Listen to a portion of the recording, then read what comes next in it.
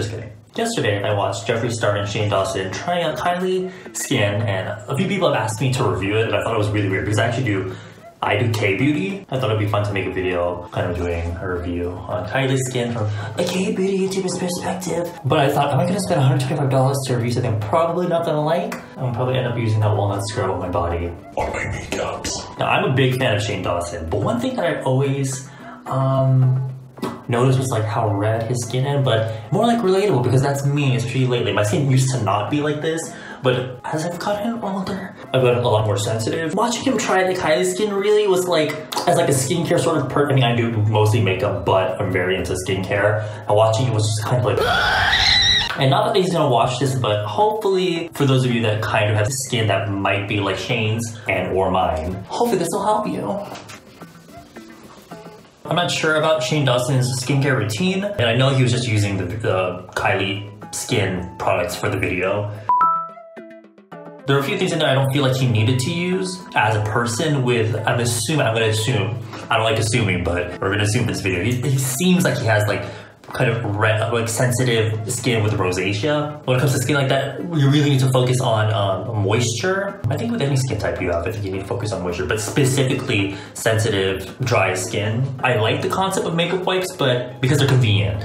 But I just feel like they don't have enough product in the actual wipe to remove like if you're like putting on all this makeup then you try to remove like this little tissue paper that has like a little spritz of like makeup remover i don't mm, and this might be a little bit extra but i tend to remove my skin makeup and my eye and lip makeup two separate products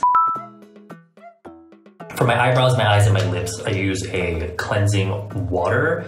I usually use eye and lip makeup remover, but I just been using this because there is a pump, and that's convenient. Also, an important thing, those round cotton pads that Jeffree and Shane were using, again, I'm not trying to, I feel like those types of cotton rounds really soak up a lot of product, so when you're wiping or using them, they tend to dry out before you can even you know, wipe your whole face. These are from Japan, but if you can find them, or like in general, cotton sheets like this, like this, really thin ones, it kind of gives the product more mileage. And because it holds the product without drying out, it actually keeps the product in here so that you can set it on your eyes, and your eyebrows, and your lips so that of can just wipe. I don't have anything on my lips right now, but if I did, I would wiped it off with this. Now you can actually just use that all over your face, but this is where I would use a cleansing oil. This is what we call double cleansing oh, action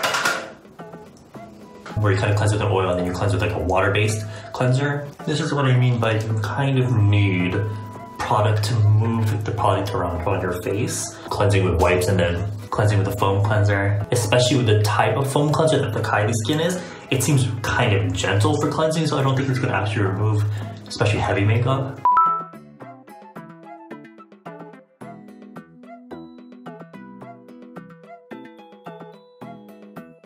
You have to spend too long with this. Kind of just lift the foundation off the skin and then rinse off. And when you're rinsing, you need to make sure you use water that's obviously not too hot, and not too cold, kind of like skin temp, like room temperature water. And make sure you're like really cleansing it because sometimes you get kind of rushed through this step and you kind of don't actually rinse off everything. You'd be surprised at how clean your skin will really feel if you properly, you know, remove with water. If you feel like the water is not enough, you can use one of these smooth cleansing sponges that I kind of just use to wipe off or dry the skin. And it's not like a towel where I feel like you can tear the skin. I actually put, probably shouldn't be doing this because my skin is sensitive and it's just people like Shane that have that really raw red skin. They don't actually do this. If they if you have something like this, kind of just use it to dry the skin. Now actually, if you really work the oil cleanser really well into your skin and you rinse it all off, I actually sometimes, a lot of times, I just stop there because um, sometimes using even really gentle cleansers can kind of exasperate the sensitive red skin even more. And also that oil specifically comes off really easily with water, so I don't feel like, you know, I don't feel like there's oil left on my skin. So there's people that use olive oil to cleanse their skin. I don't know how could do it. I try not to use foam cleansers because um, a lot of them can be kind of harsh. I think that goes without saying. The one that I do use um, and don't mind using it as the Etude House pH 6.5 Whip Cleanser because apparently it's really, really mild. This is like the Cetaphil of foam cleansers in K-Beauty. Apparently there's ingredients in it that's supposed to duplicate the natural shit in your skin. But if you really, really have to use a foam cleanser, before you let it touch your face, I recommend completely foaming it up in your hands first. Whether it be a foam cleanser like that, or if it's like a foam cleanser like this, where it comes out like a cream first. Foam it on your hands first and then massage your face. Or there's a sort of like new generation of cleansers that are like jelly, uh, which are really good because they don't foam, but they cleanse your skin. You do, if you're wearing makeup, you do have to take the makeup off first because they're so, so gentle that I don't really feel like they erase makeup, even if they say that they do, like this one. Both of these I really like. The Krave um, Matcha Hydrating Cleanser. It doesn't really foam. It kind of just gets slightly bubbly, but not even yeah, she doesn't foam. The Glow Recipe Blueberry Bounce Gentle Cleanser kind of is the same thing. This one foams a little bit though, slightly, but it's not like that rich, luxurious lather. Since they use the Kylie foam cleanser, let's use the Etude House one.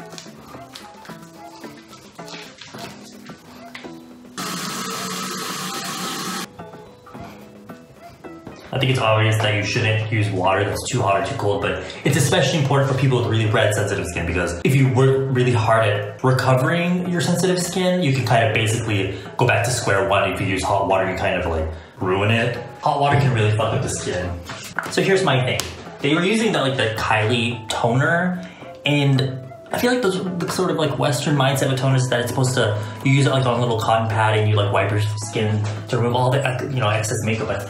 I think if you're wiping your face with a toner on a cotton pad and there's still makeup on your face, your cleansers weren't really doing their job. The cleansing stages were supposed to remove everything and then skincare follows. If you're that bougie bitch that has a mist, then I feel like this is the right time to use it. And I really like to use the Carenology Re-Blue Balancing Cream-in-Mist. I got this from that BTS clinic and I still really, really like it. I almost have used all of it and this has lasted me a few months. At this stage is where you want to use a mist. I wouldn't use it as like my main source of moisture, but it's like a good start, especially when you just finished cleansing because your skin can start to dry up again really quickly. Now, the, the sort of Asian way of thinking of toner is um, it's kind of like the moisturizing stage. It's more of like a it's like a really watery consistency that you use for uh, moisture. None of that stuff with alcohol because what I actually do with this is I layer it um, you can kind of think of your skin as like a sponge. You know, you go to wash the dishes and you're, you haven't, maybe you haven't used a sponge in like a day or two, and it's like really hard and crusty, but when you try to put it under water, it doesn't immediately absorb the water. You kind of have to hold it under the water to let it soak in the water. Skin can kind of be like that. If you have like really dry skin, especially your sensitive skin, when you put moisturizer on, if you put a lot, a few minutes later, feel, your skin feels super dry again. Your skin is probably dehydrated, and I feel like with sensitive skin, moisture is really, really important, and I think using a toner um, like a moisturizing toner is a really good step for that. Um, I use this for a long time. I feel like for me because I review so much skincare or try so much different skincare. The Nakeup Face Stress Zero Toner, which is good because it's also um, calming, balancing for smooth, fresh skin, suitable for all ages. Now there's this trend in Korea, like I don't know, two or so summers ago. Oh, by the way, you don't need that much. You only need like you can't see that per layer. And I said layer because we're gonna put this on a few times. You want it to absorb really quickly. And the less you use, the better. There's that trend like so years ago called seven skin, which is basically you put toner on, moisturizing toner like this seven times. And it sounds ridiculous, but I, it was like a trend, but it's one of those trends I feel like is actually really beneficial. And I still do it to this day because it really helps my skin because I thought I was oily, so I would always be using all this skincare makeup that would mattify my skin. But later on I realized that I'm actually really dehydrated, which is like where the inside of the skin is dry. You can slap on all the moisturizer you want, but it's kind of just moisturizing the outside of the skin. If you think this might take too long, then you can actually also put this in a mist bottle and spray it in your hand, and that kind of helps it go by a little bit faster. Put on your lips too. Um, I'm that bitch that like licks my lips and bites my lips and gets like the wrinkly ass anal looking lips throughout the day. So if you're like me, you kind of forget to drink water sometimes, then um, it helps a little bit.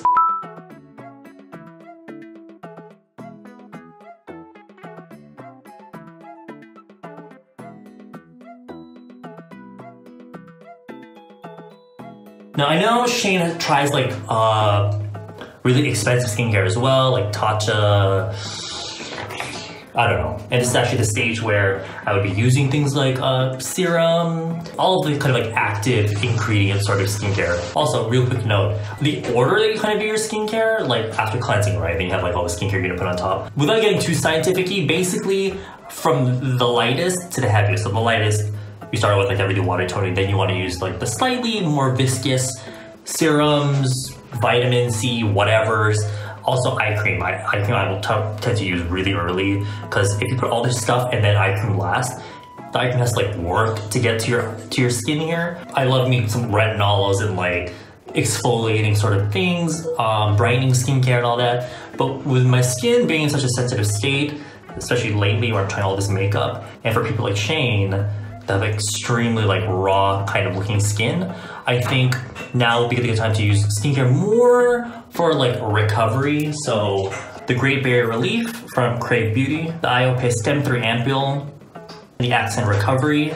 This costs an arm and a leg, but she works. I think a good basic one to start off with is the, the Krave one. I don't know, I don't feel like I'm very good at describing skincare, but basically it's got ingredients in here that uh, help. You see, like right here, you see that around my nose, right here on my chin, between my brows, the really thin, raw, sensitive skin. It basically helps to kind of heal that.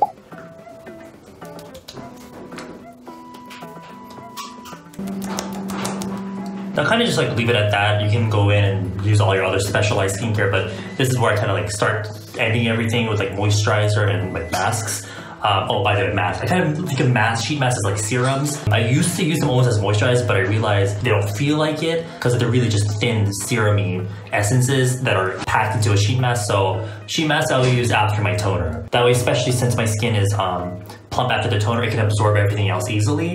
And so that would be a good time to use a sheet mask. I think Shane said he didn't really like Kylie skin moisture because it was quite thick. It almost like a body. He called it an arm and leg lotion. I have oily skin, oily dehydrated, but I don't mind slapping on a lot of moisture. But if you're into really just light stuff, the Glow Recipe Watermelon Glow Pink Juice Moisturizer is a really cute one. You really only need that much. And trust me, if you follow this, not that you have to, but if you did, with like the toner and stuff, you would be surprised, especially if you have dry skin, at just like the toner and even just using a light moisturizer because dry people with dry skin will tend to gravitate towards really heavy creams. You'll be uh, kind of surprised at the difference that hydrating the inside and the outside of your skin helps. With just using just moisturize, kind of just again, it'll kind of only moisturize the outside. Now my skin is shit because of all the acne I used to have and all the scarring it left. But hopefully you can focus more on like the glow and moisture. And the good thing about this is that it's not just like a temporary sort of glow that you get from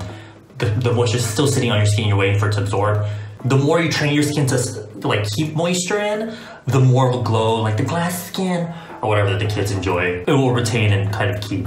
A lot of people think like, oh my god, like Asian Koreans and like their smooth water, like whatever, mulguang, like glass skin. A lot of times it's because their skin is just smooth anyway. Like the fact that it's just a really smooth surface and keeping up with that moisture will help give you that glow. So you don't have to use like makeup to get glow. Just your skincare, you can rely on that. And really, you can just end there. But uh, at night, for days where I was wearing makeup that might have irritated my skin, uh, I like to use a sleeping mask. That's uh, sleeping mask. It's just a really heavy cream, to be honest, that has like special ingredients. The Laneige Cica sleeping mask, I think it's kind of new. I don't really know if it's doing anything, but I feel like my skin, I wake up with glow in the morning.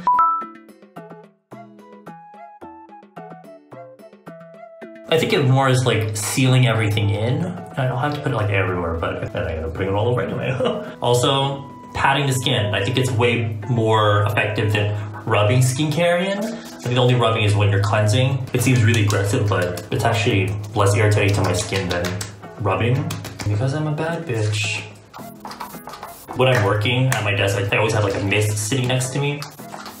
So when I can feel my confidence slowly running down the drain, I mist myself, hoping that I'll feel a little bit better. Now my skin is not the best, but I learned a few things throughout my journey. So hopefully that helped some of you guys. Shane Dawson, if you're watching this, you're probably not fucking watching this. One, good luck on your skin journey, and two, I'm waiting for that next docu-series. So, bye sisters!